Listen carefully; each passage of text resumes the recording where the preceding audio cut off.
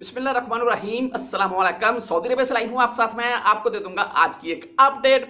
بھائی update international flats کے متعلق ہی ہے الحمدللہ میں پہلے آپ کے ساتھ نیوز شیئر کر چکا ہوں جو کہ سعودی عربیہ کے تمام تر ایئرپورٹ بحال یعنی یہ تمام تر پابندیاں وہاں سے ختم کر دی گئی ہیں، ان کو مکمل طور پر بحال کر دیا گیا ہے۔ اچھا کچھ بھائی ابھی کمنٹ کر رہے تھے کہ بھائی ابھی وائر کے ساتھ آنا چاہیے یا فلیٹس کا انتظار کرنا چاہیے، اس کے متعلق بتا دیں۔ تو بھائی، اگر تو آپ کا ویزا لگ چکا ہے یا آپ پیکج خرید چکے ہیں وائر کے ساتھ آنے والا یعنی کہ دبئی یا کسی بھی اور کنٹری کے تھرو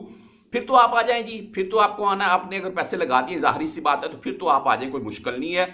اگر آپ نے ابھی تک پیکج نہیں خریدا ہے ٹھیک ہے جی میں خود سے آپ کو یہ ابھی اپنی طرف سے یہ بات بتا رکھا ہوں اور الحمدللہ مجھے پوری امید ہے انشاءاللہ تعالی آپ بھائیوں کو میری بات سننے کے بعد فائدہ ہی ہوگا۔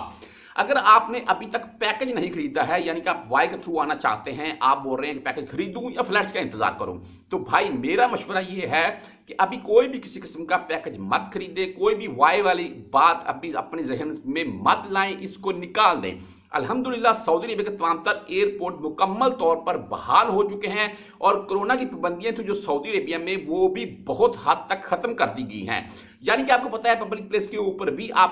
ابھی بالکل تین چیئر والی سیٹ ہے جو تین بندے ہی بیٹھیں گے۔